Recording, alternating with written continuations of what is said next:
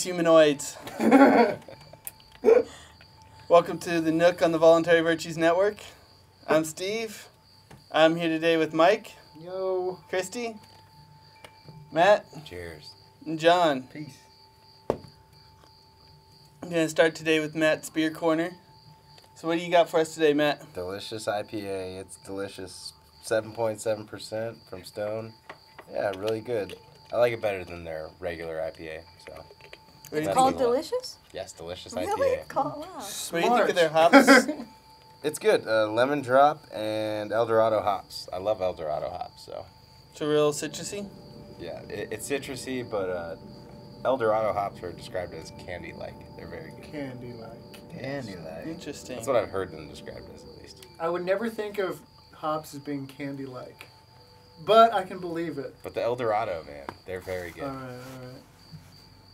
I'll take your word for it, or try that later. One of the two. Uh, Agris Ale has used them in their uh, Liberto IPA. ah, those Yes. guys are clever. Those guys are are. clever.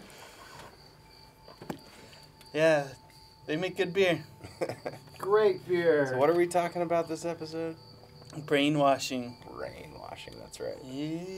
Maybe this I is could not a form of that because I was brainwashing. This is not a form of brainwashing. All the other countries suck. That's, that's pretty good. If, it, if, if those aren't familiar with this, is not brainwashing. Yeah, uh, uh, whitest kids you know, right? Was Yeah. um, Pledge of Allegiance. yeah, yeah, they did Look Pledge that of up on YouTube. It'll come up. Yeah, yeah, yeah. You could probably just put in pledge of Everyone allegiance come up here and get your Ritalin. Yeah. yeah, that's how they end it. All right, kids, everybody come up here and get your ribbon. It's a YouTube video? Yeah, yeah, you haven't it- seen that? No. I swear. I've shown it to you Brett before. School Sucks runs that. There's he has. Yeah, in the intro at one point Yeah. or another, yeah. Nice. Okay. Interesting. Add Interesting. that to my have to watch list. Yeah. Yeah, so brainwashing.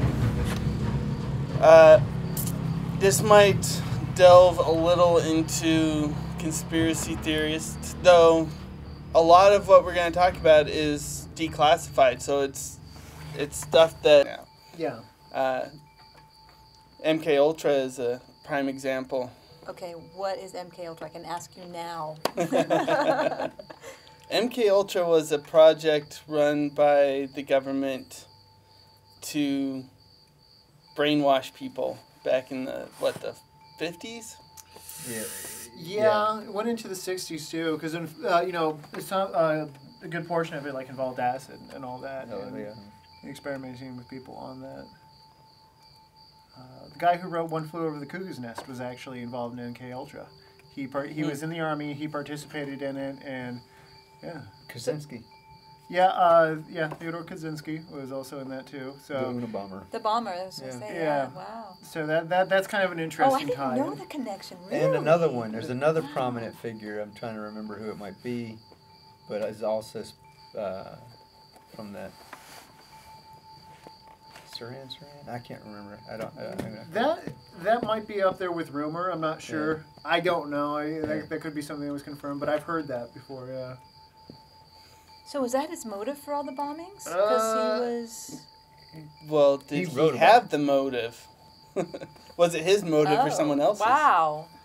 Okay. But he, as I recall, he was anti-technology, and uh, maybe that had Yeah. influenced his his path of of dissidence, if you will, maybe.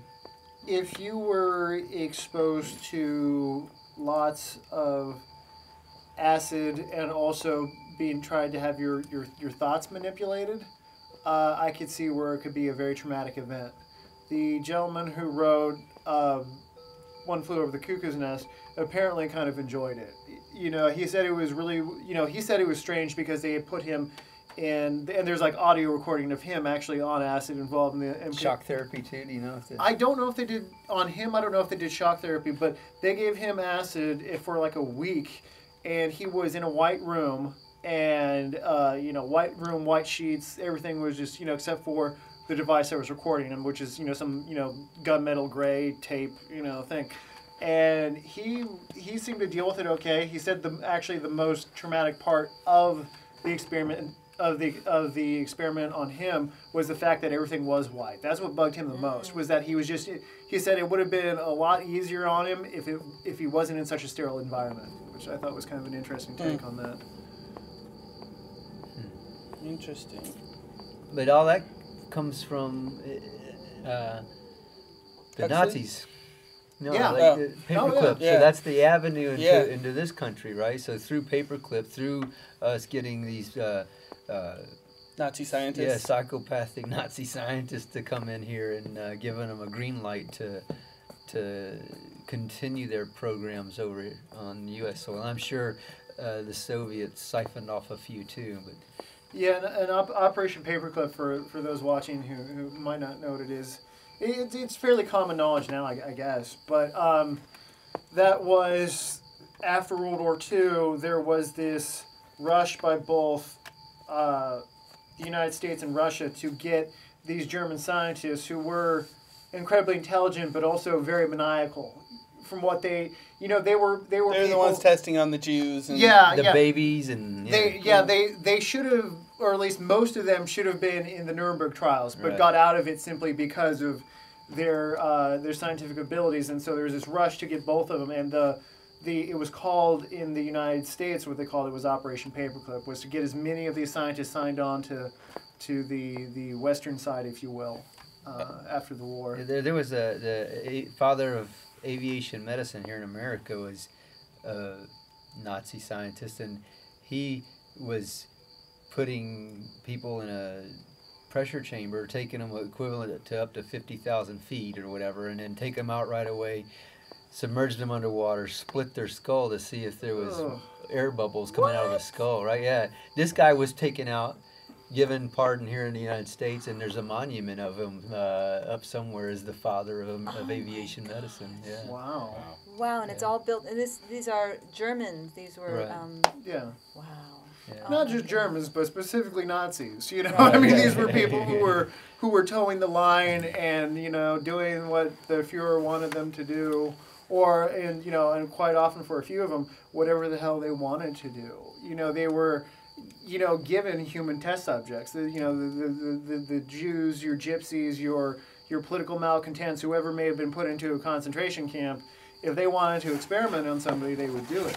But they did that over in Germany, not here, correct? Right. Yeah, But still, I mean, yeah. that's, But yeah. and But who knows what? Who knows the- But there's a statue here of them for them? Well, here Well, they were given prisoners Oh and, and God, military members. Yeah. because that, that that part of their history was expunged. You know, they were they, they were given pardon essentially, and the the general public wasn't aware of that. They had no reason even to believe, you know, that their government was capable of such a thing. Actually, But Despite the concentration camps that we had for the Japanese. Yes. Uh, there were Not we, but the U.S. government. Yes. There we go. Thank you, Steve. shortly after. That that, War. that was my brainwashing yeah, coming through still.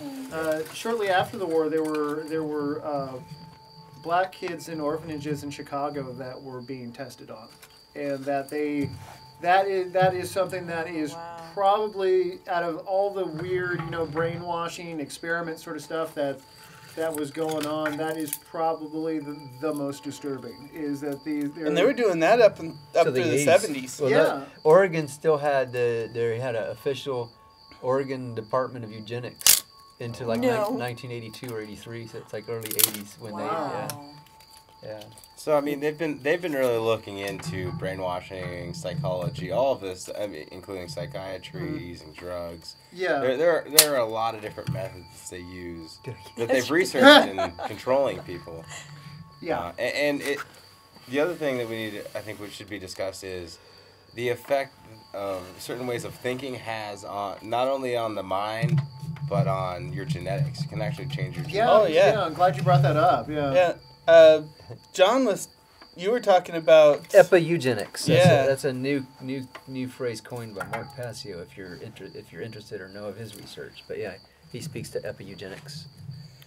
And basically, epigenetics is, uh, whereas before 50s, 60s, 70s, uh, and before that, even uh, back to like the turn of the century, you had uh, eugenics, which was physically castrating or or sterilizing people, uh, abortion, that kind of thing. Even Forced, categorizing them forced like Yeah, abortion specifically for forced. forced forced sterilization, of quote unquote undesirables, the quote unquote feeble minded, uh, minorities, anybody that they deemed undesirable. Uh, whereas now you have eugenics, which is changing through through culture, through the media, the minds of people, specifically women, to breed out the undesirable traits, the the uncontrollable Not only that, but you, you can even by or by, less controllable. by putting like look at the media today. It's all about fear and stress and all of this stuff that Mhm. that is that makes your body you know Absolutely. uh, create a stress response. You uh, any sort of stress, if you're it causes inflammation, it's the leading like cause of disease. I'd say. Uh, And not only that, are you guys familiar with the name Max Martin? Not ringing a bell. Max Martin has written nearly every pop Oh, single yeah. since 1990. wow. That's just trippy. Yeah, and then there were, oh, uh, I guess since we're talking about music. But in all genres? No, pop music. Oh, Pop pop. music, okay. yeah. All right. So uh, he's delved into other genres as well, but pop music and pop music has been shown through studies to be to be uh, Mind altering? Or What's- mind altering. Yes, uh, but Sus- sus- uh, what's the word I'm looking for? Um, Music is very Um, powerful. su- suggestive.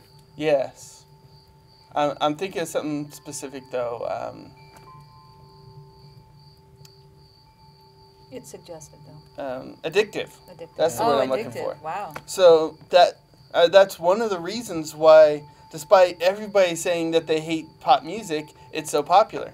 Yeah, and uh, I was now I, I was aware of this company. I'm I'm pro- I'm sure they're they're still around. Probably they may have a different name now or something. But there was a company in the mid late '90s that was called The Matrix. Creepy enough, called The Matrix, a company, and what they specifically did was write lyrics for pop stars.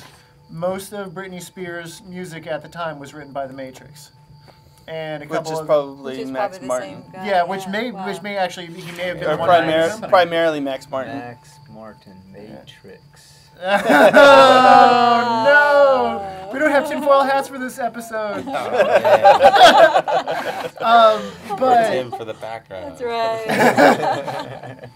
but yeah, so and then you have um, You know, to delve in a little bit more into the conspiracy side, hmm, mm, who's to say that Max Martin actually wrote the songs accredited to him? Right. do we have photographic? He photographic could proof? just be the face of it, just Right, like absolutely, like like uh, Tesla's uh, nemesis, Bell. Bell. Yeah, Ah. Alexander.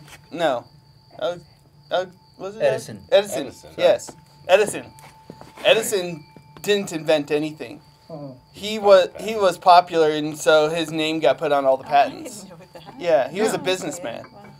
Yeah, he was paying people to come up with the right He filament for had the he had a bulb, team yeah. of like a hundred scientists. Uh huh. Uh huh. To speak to what Matt was saying, though, um, I think we spoke about uh, uh, the experiment with the rats uh, getting exposed to a smell, Oh yeah, yeah, and yeah, then yeah. and then uh, they uh, would shock the floor after these rats were exposed to the scent, and they would then, when exposed to the scent, start to exhibit fear and anxiety Mm, symptoms of got a. Great, a great one, just like this. shaking and jumping off the floor, So- even when not shocked. So here's right? a good one. They did the same thing with humans, but different. They didn't do the shocking.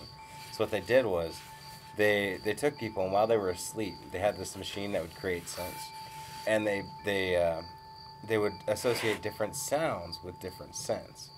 And when uh, the people were not sleeping, anytime that they um, would smell that, or sorry, anytime they would hear that noise, they would associate it with that smell. So just by hearing the noise, they, they, they were tracking their breathing. Uh, they would they would hold their breath or breathe deeply based on if it was a good or bad smell. Right, right. So they could associate these smells with a noise. Right. It- it- and they had no idea why they were holding their breath or not. They, they didn't even realize they were doing it. and so that in the rat experiment where the babies were taken away and never exposed to electric shock or taught to the fear of the smell like at the 80 percentile rate they exhibited fear and anxiety associated with the smell even though they'd never been exposed to it before. So it shows genetic Wow, I was memory. say, it yeah, proves genetic memory. it, but or- but that only that just simply reinforces the monarch butterfly and that's why the monarch mind control program Hmm. uh, the monarch takes three generations to get, to complete its its migratory route. So that means the third generation never was at the first. So there's butterflies gotcha. completing the journey that have never been there, yet they do it every time. So there's genetic memory. So the point is, there's a genetic memory going into things. Epigenetics. Right, so that we've been programmed with fear. Things that, so things like 9/11, which was such a huge collective uh, event as far as our psyche's considered, it could have uh, been genetically written onto us. There So was there was a study that fear. just came out recently that showed that depression negatively affects you genetically. Yeah, it changes the length of uh, epigenetics, man. That's the right. rest Yeah. of Your it is. telomeres. Yeah, Yeah. yeah, And, uh, yeah. yeah. And yeah, but they say that once you recover from it, that that effect is gone. Hmm. But I, I another interesting one is um, Tummo meditation. I think is a good one. You your your uh, you, you can there's they've studied monks in the Himalayas who meditate with I think we wet were sheets on their naked the bodies. day. Trying to. and right and they uh, they can actually raise their body temperature i believe it's 17 degrees but the same guy who studied these monks in the himalayas came up with this meditation called um, he calls it the relaxation response it's the, re- the repetition of the phrase oh well peace over and over for 15 minutes a day you, you slowly breathe in and out and repeat the phrase, phrase oh well peace Yeah. so it's like a, some sort of Yeah, mantra Yeah. Exactly, but he studied Well- these people. I thought it was I thought it was that you you say oh well peace when something pops into your mind. No, it's 15 minutes a day. Uh, Oh, okay. And he, he studied these people and he they tested their genetics before and after. And the gene that is responsible for inflammation, actually the the switch was turned off. Like their their inflammation response was serious? turned off. Yeah. So they, Wow. they, that actually changed them genetically, and they have evidence of this. And hmm. so it's the vibration from oh well peace. It, it's it's it's something with the relaxation, sitting down and just Vibration's relaxing. probably a good Yeah. way to put it down, right? so it's From this- vibration's one of the yeah. Elemental Right. energies and Oh forces peace. in the world, right? Oh well peace. I'm Yeah, try so that. I, I, I would suggest like I don't know I don't know exactly how the best way to do it. I don't know exactly what he says. It was on. Um, Oh well peace is just It's something to say though. I, I, I You- think it's you could probably substitute that for anything that you find calming.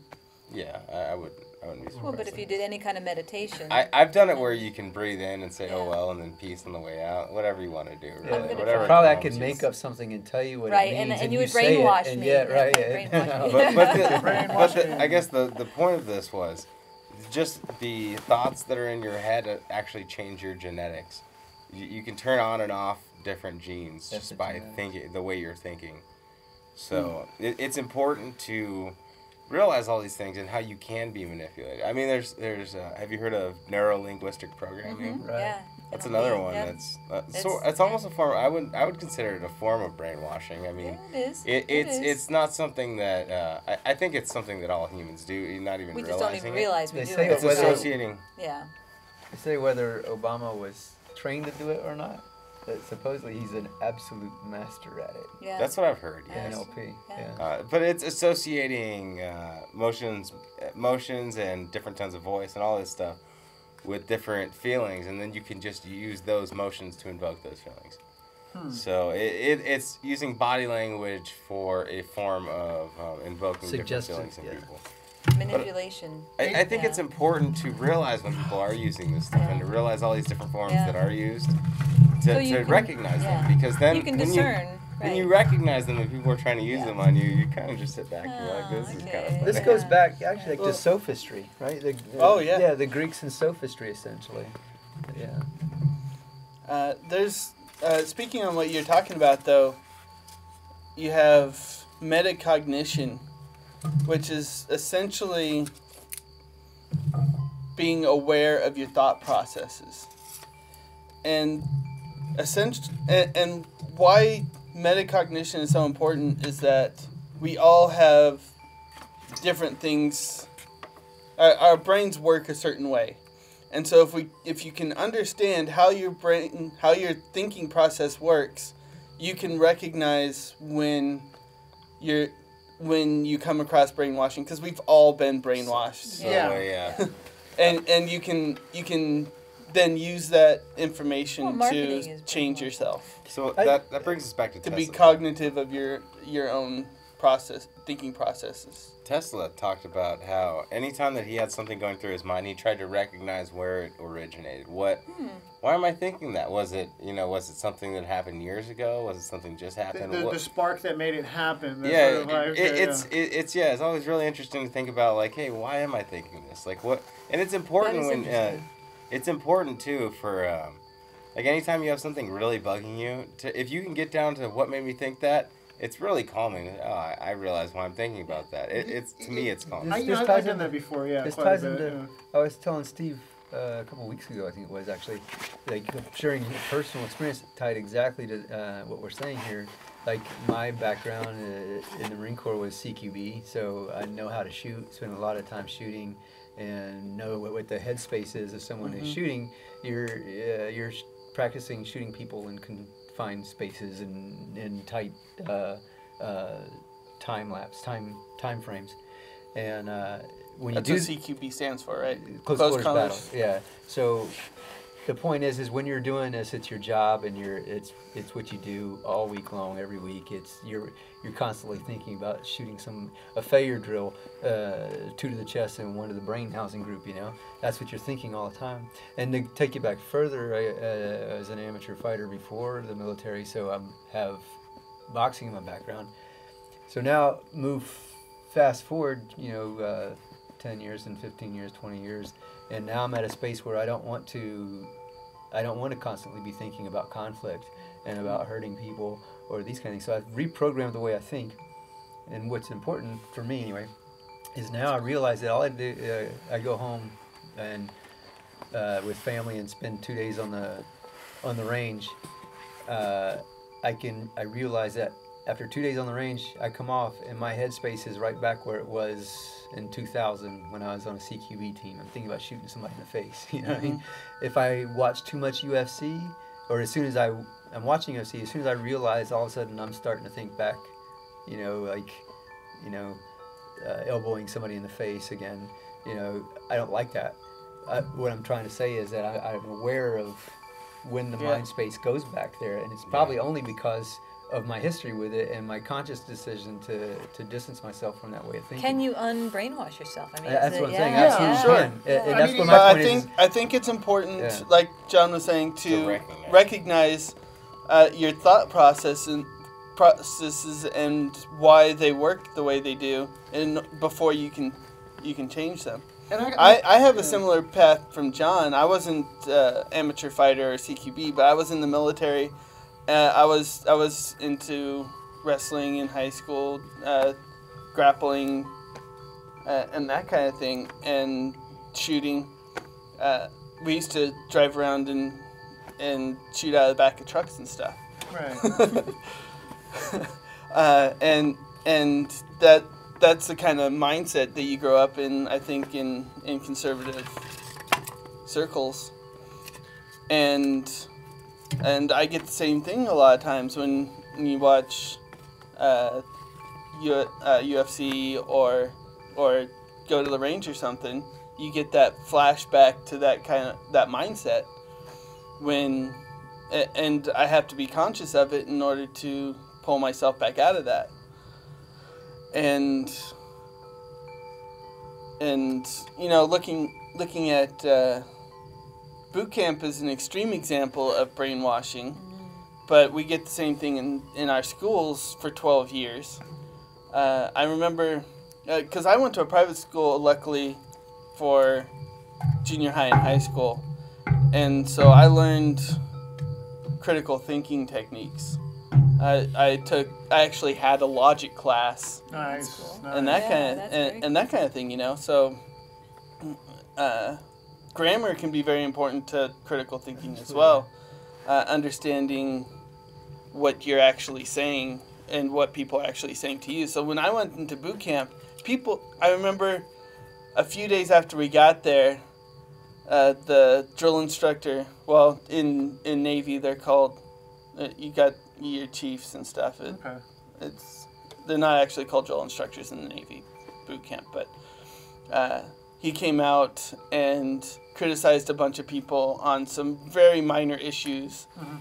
Their their gig line wasn't lined up right or something like that, Mm. and he just pulled them out of the out of formation and said, "Get out of here! You're you're kicked out or whatever." Right. And people were like freaking out about that, like, "Oh my God, they're they're kicking him out for that little offense." Mhm.